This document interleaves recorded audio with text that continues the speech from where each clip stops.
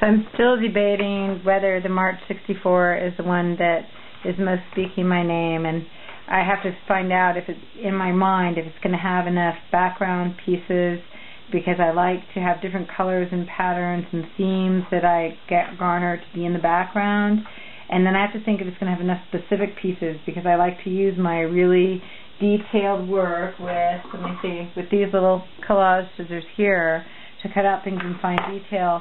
And the, the pieces have to have enough form to them to add fluidity and movement on top of the grid work that I do for the background. And so I was thinking that I like, I even though I don't like to use, you know, those exot, exoticized others, I do like the um, feeling of this guy because I like the way he's kind of looking off that uh, and the way he's um, going somewhere has movement. Even though he's standing still, he's still moving. And I'm thinking about he would look good placed on top of, say, the JFK funeral pieces to juxtapose this kind of, you know, reality with the pomp of the JFK funeral. So, you know, that's the kind of thing I I have to find. Neither none of these issues is really, you know, screaming at me right now, but I am going to force things, so that's what I do. I force, I, I will have to go through here and force material, like I like this pattern here, so I will use that in one of the backgrounds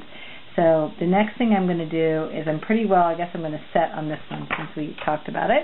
And now I'm going to go through with my itty bitty teeny tiny scissors, and that's it takes a very long time to go through because I usually have to go through a couple rounds, and um, it may take me the evening to do that, and I might have to finish this at another time. But I'll stop here.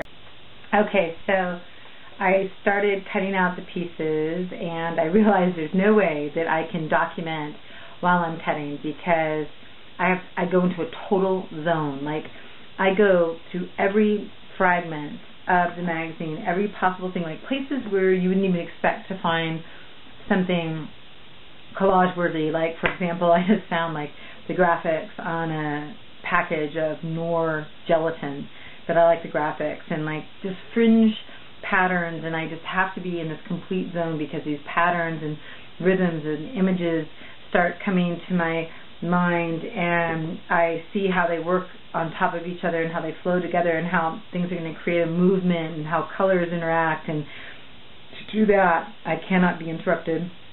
I just have to be there and do it. But so what I'm going to do is I'm going to stop this video installment because I think I can only make them so long anyway to put it on YouTube. And so this is the one I'll post tonight or whenever I get to it and then I will do another one that shows all the pieces that I selected and why and maybe my initial layout. But before I leave you tonight, I wanted to say I cut out this lobster for you because I love you. Here's a lobster. Have it. Loves and kisses. Back to cutting. End. Katie D makes a collage. Part one. Okay, see you around.